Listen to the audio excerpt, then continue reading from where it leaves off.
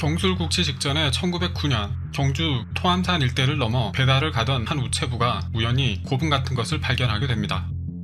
호기심이 발동한 우체부는 그곳으로 가까이 다가가게 되는데 수풀이 우거진 틈 사이로 입구처럼 보이는 통로가 있었고 그 안에는 불상이 있었으며 천정은 심하게 무너져 있는 상태였습니다. 영화에나 나올 법한 그곳은 바로 석굴암이었습니다.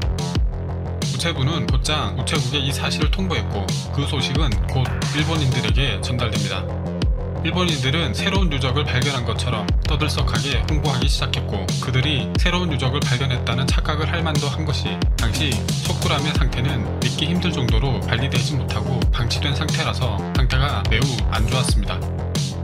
보존불의 코는 깨어져 있고 연화대는 갈라져 심하게 파손되어 있었으며 천정의 일부도 무너져 내려 이미 구멍이 생긴 상태였습니다.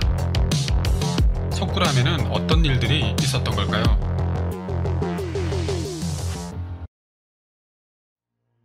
통일신라 751년 경도광 때는 신라 불교 예술의 전성기를 맞이하고 있었습니다. 당시 재상이었던 김대성과 이송용이 석굴암을 창건했고 해공왕 10년에 이르러서 완공하게 되었습니다. 원래 이름은 석불사로 불렸다고 기록되어 있습니다. 신라를 지나 고려가 건국하면서 산 중턱에 있던 석굴암은 고려의 귀족 계층에게서 외면받기 시작했고 진안 왕조의 유물이라는 인식 때문에 조금씩 방치되기 시작합니다. 그렇게 고려를 지나 조선이 건국하면서 석굴암은 더 힘든 시간을 보내게 되죠. 왜냐하면 조선은 유교를 기반으로 건국한 국가였기 때문이었습니다. 조선시대에도 불교가 유지되고는 있었지만 국가 차원에서 숭유옥불 정책을 펼쳤기 때문에 불교는 많이 침체되고 석굴암은 화려했던 옛 명성이 무색할 정도로 잊혀져 가고 있었습니다. 하지만 조선시대까지도 여전히 전국 각지에서 참배객들이 석굴암에 왕래했다는 기록이 있고 유랑자들의 기행문에도 간간히 등장하기도 했으며 조선 숙종 29년과 용조 34년에 보수했다는 기록이 있고 조선 말기에는 울산 병사 조혜상이 크게 중수하였다는 기록이 남아있는 걸로 봐서는 조선시대에도 석굴암의 존재를 알고 있었던 걸로 보입니다. 다만 아쉽게도 관리 허술했던 건 분명한 듯합니다. 특히 조선 말기에 일본에 저항한 의병이 전국적으로 일어났는데 깊은 산중의 사찰들은 토벌대와 의병들 사이에서 시달림을 받아야만 했습니다. 그래서 절간의 스님들은 산을 내려와야 했고 많은 사찰들이 관리되지 못하고 비어 있었다고 합니다. 대부분의 사찰들은 반폐허 상태였고 불국사나 석굴암도 방치되면서 많이 망가지게 되었죠. 더군다나 산 중턱의 석굴암은 수풀로 가려져 있었기 때문에 사람들에게 그 존재가 완전히 잊혀지게 되었습니다. 그뿐만 아니라 이 오랜 문화재는 천년도 훨씬 넘는 세월을 겪으면서 자연과도 싸워야 했습니다. 오랜 풍화작용도 견뎌야 했지만 무엇보다 석굴암이 위치한 경주 일대는 양산 단층이 존재하는 지진대였던 것이죠. 삼국사기에는 석굴암이 한창 만들어지던 해공왕 5년 그리고 16년에 지진이 발생했다는 기록이 있는데 특히 780년에 일어난 지진은 사상자가 100여 명이 있을 정도로 한반도 역사상 가장 큰 규모의 지진으로 분석되고 있습니다. 석굴암은 이때도 잘 버텨냈던 것이죠. 고려사나 고려사 저료에는 고려 현종 때 경주 일대에서 6차례나 지진이 발생한 기록이 있습니다. 그리고 조선왕조실록에서도 인조 21년 7월 24일에 울산과 경주를 중심으로 대구, 안동, 영덕, 김해 등지에서 강진이 발생했다는 기록이 있습니다.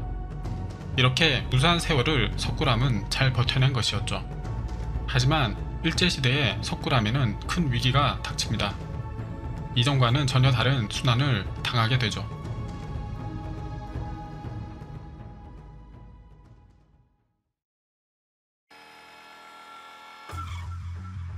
일제강점기 누가 봐도 엄청난 석굴암의 등장에 일본인들 또한 경외심을 품게 됩니다.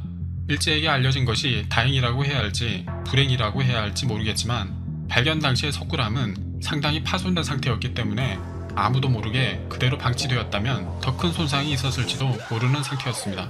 분명히 발견된 것은 다행일지 모르지만 문제는 그 다음이었습니다. 일본인들은 석굴암을 해체해 일본으로 반출하기 위한 계획을 진행했지만 다행히 무산되었고 초대 조선총독 데라우치가 석굴암을 시찰하고 난 뒤 석굴암을 보수하기 위해 대대적인 공사를 시작하게 됩니다. 1913년에 시작된 보수공사는 1914년 석굴암을 완전히 해체한 후 1915년에 다시 조립하는 과정을 거쳤는데 이 과정에서 막무가내 식으로 해체가 이루어졌고 조립 후에는 석재들이 남아도는 현상이 발생합니다. 다시 말해서 함부로 해체하고 막 조립했다는 뜻이죠. 문제는 이뿐만이 아니었습니다. 본래의 모양을 크게 훼손한 것이죠. 석굴암이 있는 장소는 지어질 때부터 아주 습한 장소였습니다.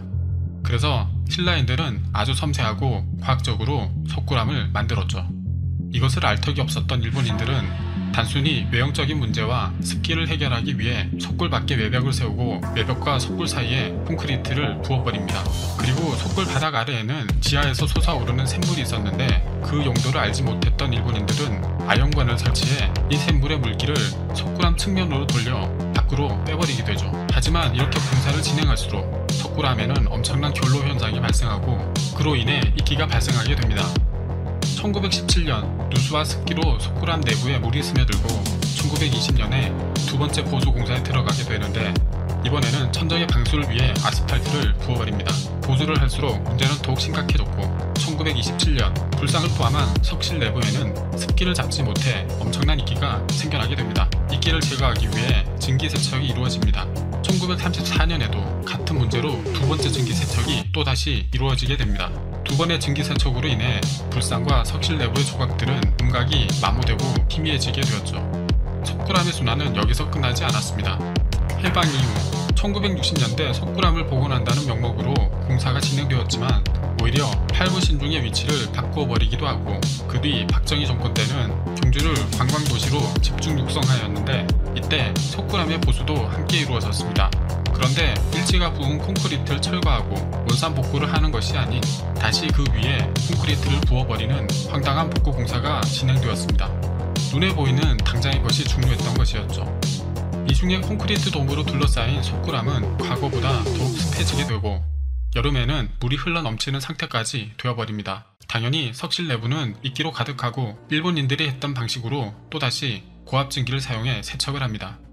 조각들의 마모는 더욱 심해졌습니다.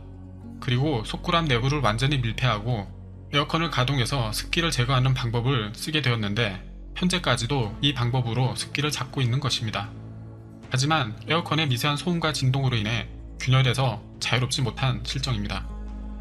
원래 석굴암은 참배객들이 석실 내부로 들어와 한 바퀴 돌고 나가야 의미가 있는 공간이었습니다.